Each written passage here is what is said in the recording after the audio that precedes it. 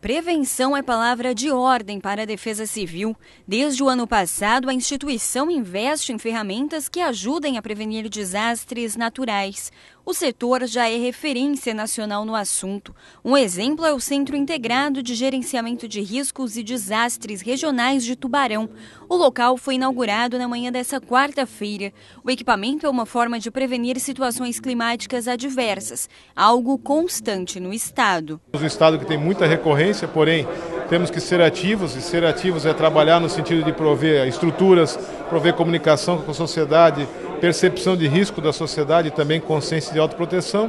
E com isso nós congregamos tudo com o Centro Integrado de Gerenciamento de Riscos Ácidos em Florianópolis, na capital, fazendo nosso Estado, trazendo o nosso Estado com protagonismo na área da proteção e defesa civil. O regional vem para fazer a gestão e a logística do que, o município, do que o município necessita naquele momento, numa situação diversa. Numa situação de calma, a gente entra com palestras aqui dentro do centro regional, cursos, é, videoconferências, reuniões e tudo o que concerne aos gestores públicos, não só municipal, estadual e também federal.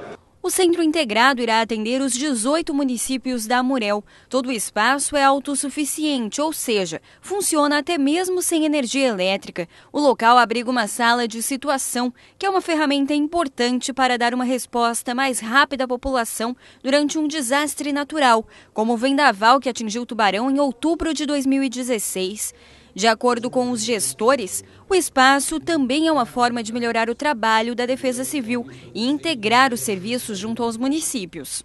A, gente estruturou o centro regional e agora é tentar sensibilizar os gestores públicos municipais da estruturação do seu município, seja ela pequena, mas dando a continuidade para os trabalhos em defesa civil, que é o, é, que é o nosso grande trabalho dentro dos municípios, que é a sensibilidade de uma estruturação colocando um gestor de carreira para dar continuidade aos trabalhos. A obra começou em agosto do ano passado e foi inaugurada após sete meses de trabalho. Além desse, existem outros 19 centros espalhados pelo estado.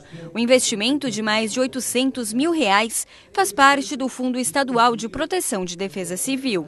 Temos nos últimos anos sofrido tanto né, com fenômenos naturais e que isso nos preocupa, né, nos aflige tanto.